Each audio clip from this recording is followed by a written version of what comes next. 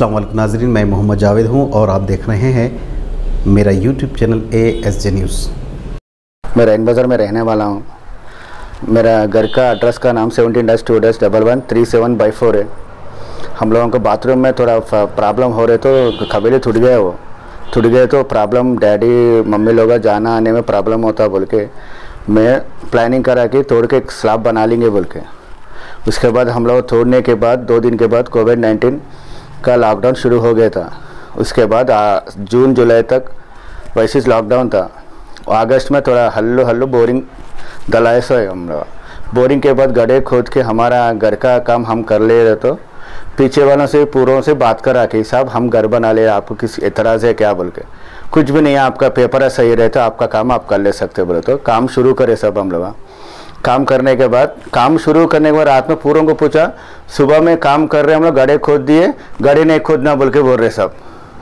कई को सब उनका नाम मंसूर है है ये मंसूर? मंसूर हमारे घर के पीछे रहते साहब उन्होंने। कोई पॉलिटिकल लीडर है? पॉलिटिकल कुछ भी नहीं है सब वो बात बात को लीडरों के नाम लेते अब क्या बोलेंगे साहब? मैं बोला अच्छी बात है साहब आप मेरे से क्या प्रॉब्लम है? बोले तो नहीं तुम्हारा ये नहीं होता।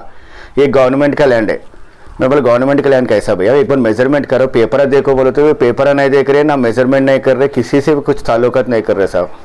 आपके डॉक्यूमेंट्स पर ओके है ना? पूरा क्लियर है सर हमारा।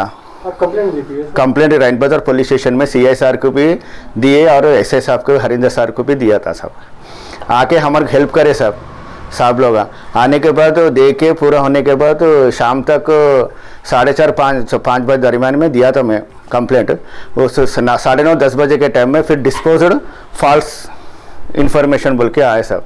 मैं बोला, साहब, ऐसा कहीं को करे? बोला तो मैं आगे बा आजू बाजू लोगों से पूछा मैं, कौन कुछ तरफ़ नहीं कर रहे? बोल के मैं बोला, साहब, मैं लेबरों को लेके आ रहा हूँ, पूरा ट्रैक्टर लेके आ रहा हूँ, सबको पगा दे रहे साहब उन लोगों को, धमकियाँ दे रहे हैं उन लोगों को।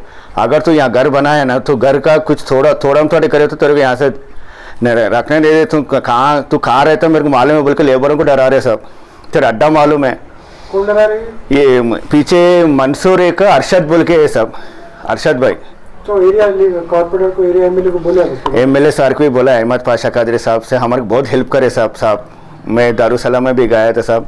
नहीं तुम्हारा जो जितना प्रॉपर्टी है तुम बना ले सकते। बोल के भी बोले थे साहब। मगर होने के बाद भी मैं बोला उन्हें अरशद भाई क्या बोले बोले तो मेरे को क्या मालूम? मैं किसी की बात नहीं सुनता। हमारा जैसा है वैसे बनाना बोले तो जैसा है वैसा बोलो तो मेरे पेपर में पूरा राइट से और पुलिस वाले पुलिस साहब भी, लोग भी आ रहे थे। उन्होंने हंड्रेड डायल कर रहे। और आने के बाद साहब मैं काम कर ले रहा हूँ, बोले तो तुम जितना है उतना ही बनाओ, बोले तो मैं बोले जितना है उतने में नहीं है साहब। आपके पास पेपर है, उतने में बनाओ बोले तो बताओ बना तुम इनको देखो सब। अब देखिए सब। ट्वेंटी फाइव बाईस। सिक्सटी वन स्क्वायर आर्ट्स पे है सब। बहुत तकलीफ़ हो रहा है साहब हमारा को। बहुत टेंशन हो रहा है साहब हमारा हरासमेंट हो जा रहा है साहब हमारा को। अब गवर्नमेंट से क्या डिमांड कर रहे हैं? हमारे गवर्नमेंट से यही रिक्वेस्ट कर रहा हूँ साहब। सी एस साहब एस एस साहब फिर आप लोग हमारे को रिक्वेस्ट से आप आके पेपर देखो साहब एक पेपर देकर मेज़रमेंट करके हमारे को थोड़ा हेल्प करो साहब। आप लोगों से किसी चीज़ की शिकायत नहीं है साहब। आप लोग हमारे हेल्प करते बोले कि एक उम्मीद से हम लोग बैठे हुए सब डैडी मम्मी लोगों की भी तबीयत सही नहीं है सब हम एक ही एक ही है सब घर का। बहुत तकलीफ़ हो रहा सब माइंड डिस्टर्ब हो जा रहा सब हमारे को। हेलो सब। हम लोग ए सी पी टाउन पे भी गए सब चांदमार पे, सरदार महल पे। जाके म- मल्लेश्वर बोल के साहब से बात करे तो उन्होंने क्या बोले, मैं कहीं को, मैं क्या करूँ? बोल के बोले, मौला साहब, आप ही है ना सब, जो भी करने वाला। बोले तो मैं नहीं एम आर ऑफ़िस को जाओ, सैदाबाद जाओ। बोलते उधर दो महीने, इधर दो महीने। चांदमार एम आर ऑफ़िस को भी गए साहब उधर भी दो महीने। वो रिक्वेस्ट करते उन्हें आके देखे साहब मेज़रमेंट करके, भाई बेटा आपका 61 करेक्ट है, बोल के बोले साहब पीछे वाले से बात करो, बोले, पीछे वाले बोलते मेरे माँ बाप बुज़ुर्ग है साहब पहले कोविड नाइन्टीन चल रहा, मैं कहाँ कहाँ लेके फिरना साहब दारूसलम भी भी गया था दो तीन बार मम्मी डैडी को लेके। डैडी की तबीयत सही नहीं है, मम्मी को घुटनों में दर्द है। ये क्या है साहब हमारे की, ये परेशानी? हमारे घर हम नहीं बनाना, बोले तो आप कैसा साहब रेंट पे, घर पे हूँ साहब मार्च से लेके अब तक एक साल हो रहा साहब हम रेंट पे रह के। अब क्या करेंगे साहब? इधर से कैसा जो हमारे घर हम नहीं बनाने, बोलते ये क्या ये कर रहे साहब हमारे को? ज़ोर ज़बरदस्ती तो रिक्वेस्ट है साहब, रैन बाज़ार एस आई साहब, सी ए साहब, गुजारिश है आपसे। आप कैसे भी हमारा को हेल्प करते हुए एक उम्मीद है। प्लीज़ फिर एक बार हमारा पेपर दे के मेज़रमेंट करके हमारे को सिक्सटी वन में एक स्लाब डाल के वैसा हिम्मत करा दो साहब।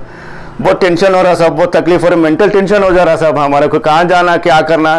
काम नहीं है, कुछ भी नहीं है। अब घर में बैठ के क्या करूँ साहब प्लीज़ साहब रिक्वेस्ट है साहब